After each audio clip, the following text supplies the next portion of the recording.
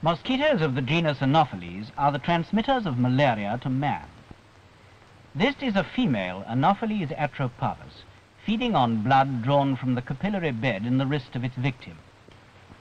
The blood meal is necessary to the female anopheline before the eggs can mature, but it is also the means whereby malaria is transferred from man to insect and then on to man again. The female may feed about every 48 hours or so, ingesting each time slightly more than her own weight of blood, so that the stomach becomes greatly distended. At the same time, clear serum, which is separated from the blood in the stomach, is passed along the gut to the exterior. At the start of any anti-malarial work, one of the first essential steps is the investigation of the local anopheline mosquitoes to find which species are the important vectors of malaria. To do this, the mosquitoes must be dissected and malaria parasites looked for either in the stomach or mid-gut of the mosquito or in the salivary glands.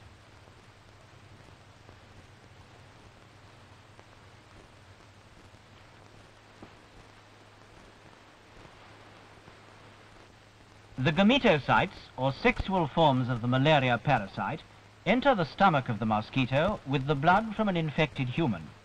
Fertilization occurs there, and ookinetes are formed which penetrate the stomach wall. The blood meal is digested in about 48 hours, by which time the ookinetes have developed into oocysts on the outer surface of the stomach. The oocysts grow, and by the 10th or 12th day after infection, they are mature. They then rupture and liberate thousands of sporozoites into the body of the mosquito.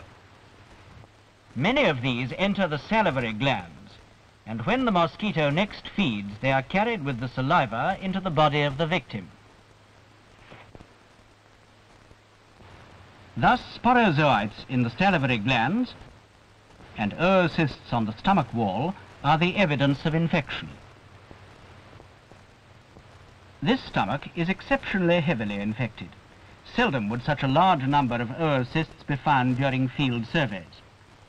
These are seven days old and are fairly large, about 40 microns in diameter. Sporozoites are long, thin organisms which are seen moving here near to an unruptured oocyst. They are about 14 microns long, and to show their structure they should be stained. This is not, however, done during field work, since they are readily recognizable unstained.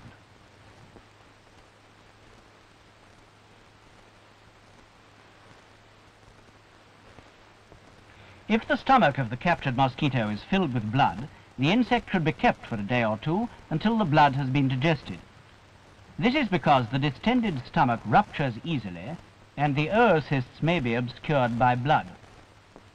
Special dissecting needles with very sharp cutting edges are used and they are made of stainless steel because the dissection is carried out in saline. The mosquito is killed before dissection. The live insect is shaken to the bottom of a narrow test tube and is stunned by giving the tube a few sharp raps. Then a light pressure on the thorax kills it without crushing it. It is then held by a wing while the legs are pulled off one at a time.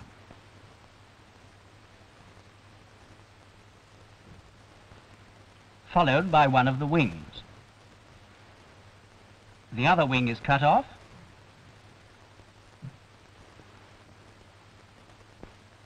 and so is the head, and the mosquito is ready for dissection.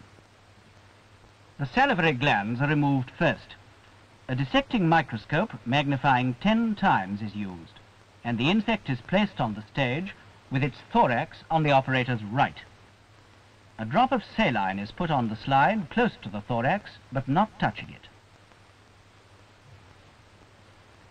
Then the thorax is held with a needle at a point just behind where the glands lie. And with another needle, the glands are gently pressed out and into the saline.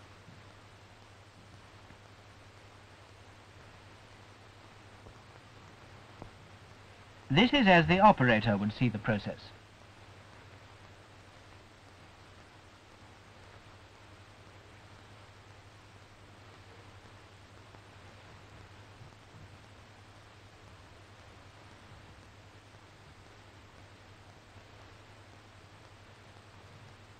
Each gland has three lobes. The length of these varies, but it averages about a third of a millimeter. The sporozoites are present in the cells and ducts of the glands. A microscope cover slip is now dropped corner-wise onto the glands, just heavily enough to rupture them without dispersing them, which makes for easy examination. The sporozoites are observed with a 4 millimeter objective. They are relatively inactive organisms, drifting slowly in the saline and body fluids.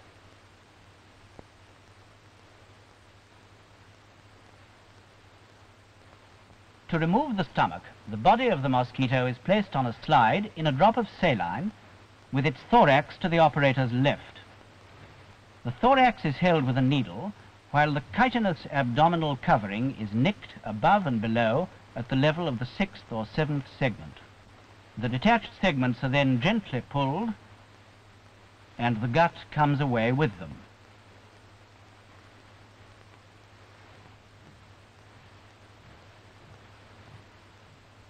At higher magnification, it is seen that first the Malpighian tubes and the hind gut emerge.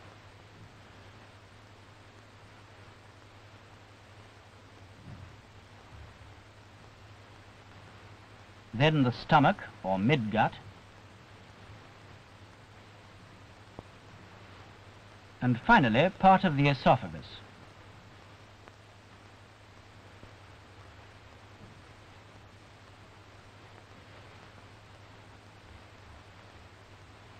For convenience, the slide is turned round and the Malpighian tubes are cut off.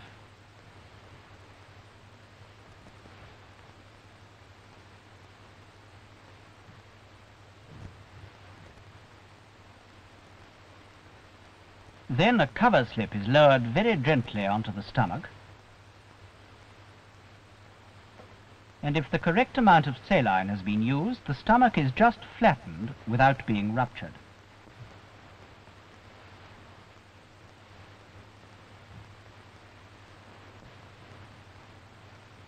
The oocysts can be seen with a 16 millimeter objective. These specimens are fairly heavily infected. The oocysts are well developed and easily identified.